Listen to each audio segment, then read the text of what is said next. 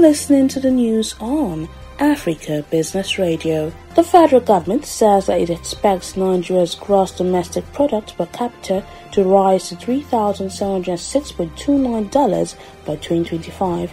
The Minister of Industry, Trade and Investment, Niyi Adebayo, says the country's GDP, which currently hovers around $500 billion, was experiencing steady growth, projecting that GDP per capita will rise to $2,300 by the end of the year.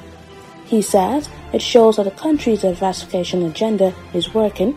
The oil sector now only contributes to approximate 14% of the GDP. That was the news at this time on Africa Business Radio.